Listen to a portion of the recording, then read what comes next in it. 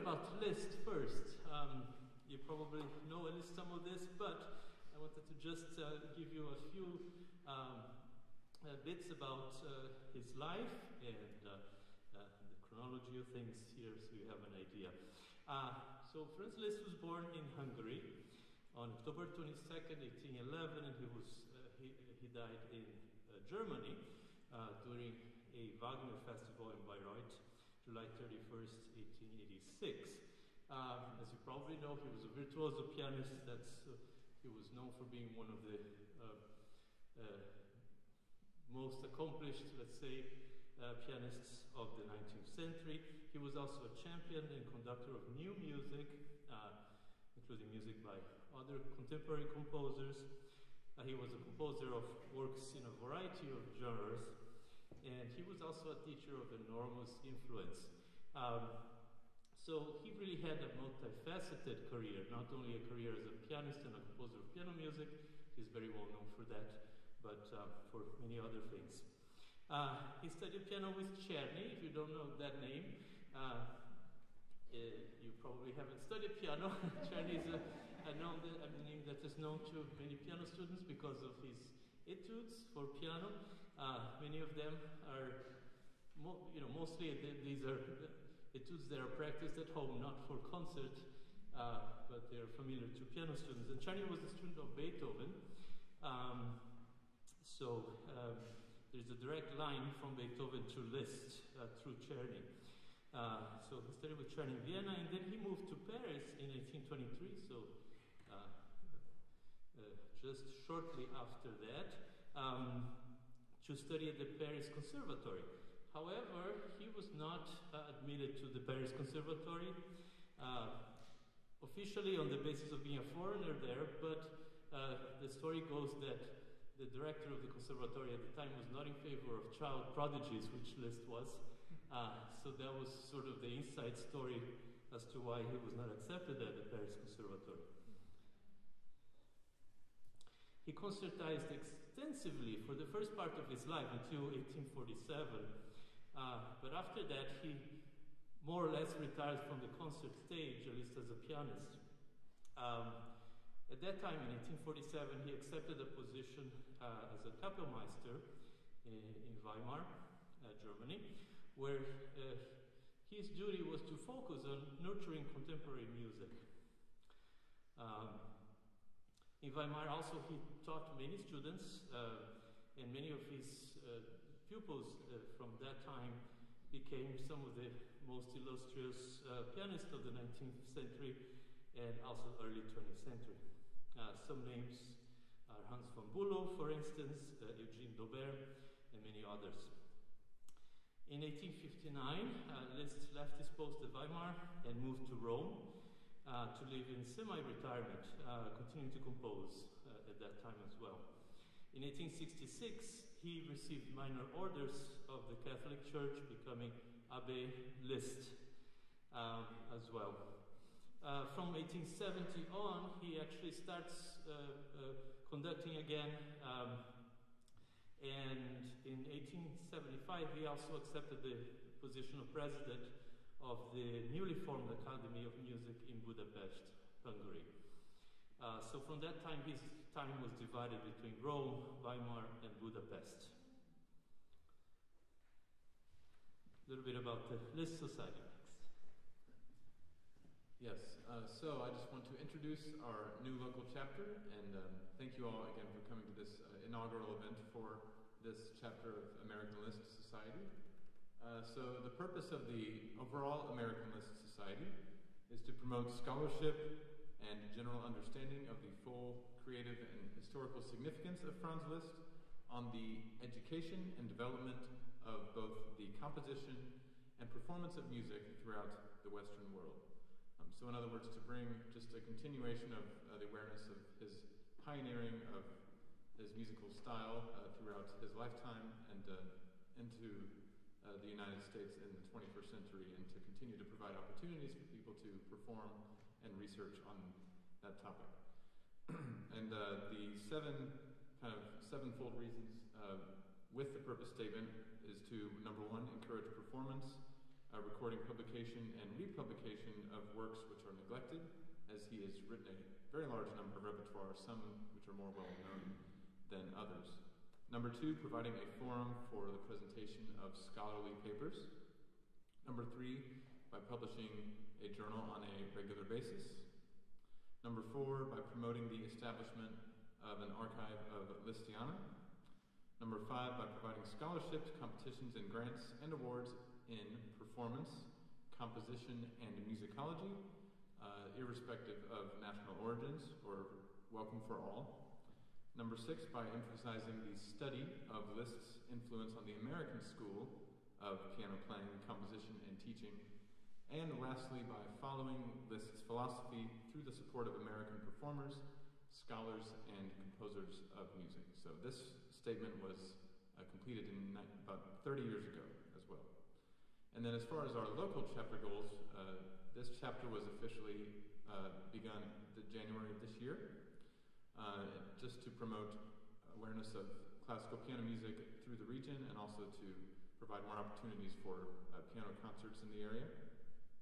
Uh, so threefold local chapter goals. promotion, number one, to honor Franz Liszt's legacy of virtuosic piano playing throughout this, uh, the tri-state area.